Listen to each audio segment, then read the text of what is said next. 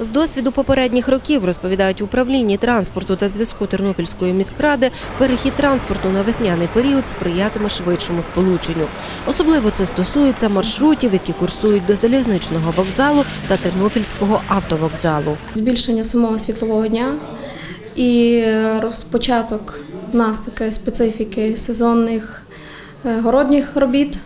Е, Люди будуть вибиратися на дачні ділянки, на городні ділянки, і для покращення сполучення їх буде транспорт приблизно 20-30 хвилин виїжджати раніше. Це як тролейбуси, так і автобуси. Сьогодні на маршрути громадський транспорт виїжджає о 6.30. За новим графіком перевозити тернополян мають о 6 ранку вже з 15 квітня.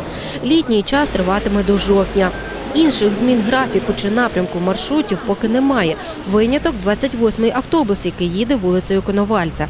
Наразі маршрутки під номером 28 тестують чи направляють до торгово-розважального центру Подоляни. Тимчасово, бо жаліються, що перевізники вже вкрай е, в такому скрутному фінансовому становищі, що вони будуть залишати цей маршрут, що вони не будуть на ньому працювати. І ми пішли на такий крок, що запропонували їм поки що попробувати до Подолян.